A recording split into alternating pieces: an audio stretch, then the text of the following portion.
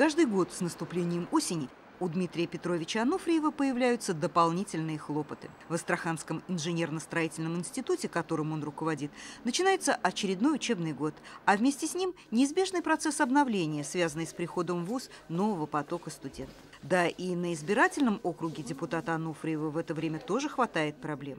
Казалось бы, подготовка к отопительному сезону близится к концу. Однако многих жителей спального района по улице Татищева не покидают опасения, будет ли тепло в их квартирах вовремя. Пройдя все инстанции и не получив необходимых гарантий от эксплуатационников, жители округа идут на прием к своему депутату.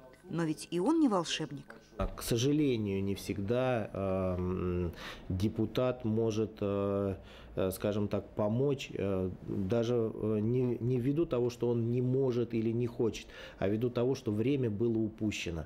То есть некоторые моменты э, слишком поздно поднимаются э, жильцами. Э, например, не проведены ремонтные работы, и, соответственно, дом не готов к отопительному сезону.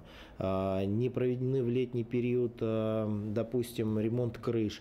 Не проведены в летний период, когда наиболее благоприятные условия ремонт внутридворовой территории, а осенью похолодание. И, собственно говоря, мы сейчас наблюдаем это похолодание уже ни работы, связанные с укладкой асфальта, а, ни работы, связанные с ремонтом мягкой кровли, но технологически они не, не дадут вот того действительно эффекта, это будет некачественно выполненная работа. Ну, не говоря уже о ремонте системы отопления. Вот и жители дома номер 23 по улице Савушкина накануне отопительного сезона тоже оказались в критической ситуации. Управляющая компания затянула с опрессовкой отопительной системы. А пару недель назад ее представители и вовсе признались в отсутствии необходимых для этого кадров. В ближайшее время жильцам дома, в основном пожилым людям, предстоит расстаться с недобросовестным партнером. Но теплее от этого в их квартирах не станет. Теперь одна надежда на депутата. И Ануфриев уже начал действовать.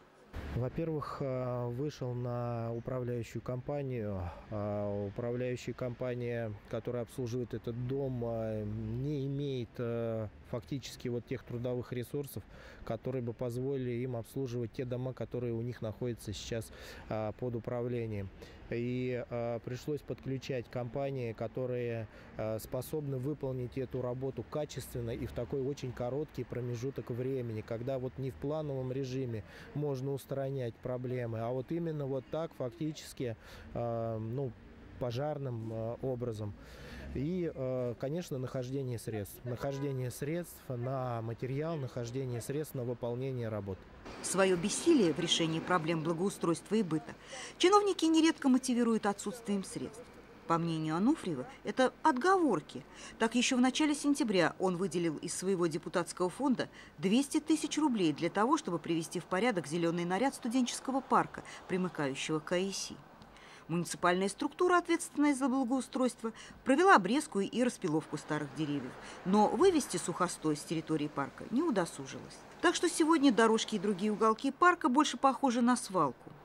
В этой ситуации депутат намерен предпринять самые решительные меры к нерадивым исполнителям. Какими будут ваши дальнейшие действия? Работа, работа с э, властью района, э, работа на более высоком уровне. Если здесь не найду понимания, конечно, буду э, идти, буду э, стучать во все колокола, то есть это и по замам по благоустройству с Диденко, и с Михаилом Николаевичем Столяровым, но, конечно, это нужно ситуацию исправлять, потому что она за этот год, несмотря на выделение средств, не только не улучшилась, она ухудшилась.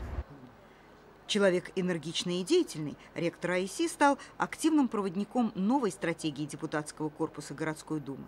Он умело сочетает политику малых дел с реализацией проектов особой социальной значимости. И в этом его готовы поддержать многие астраханцы. Thank you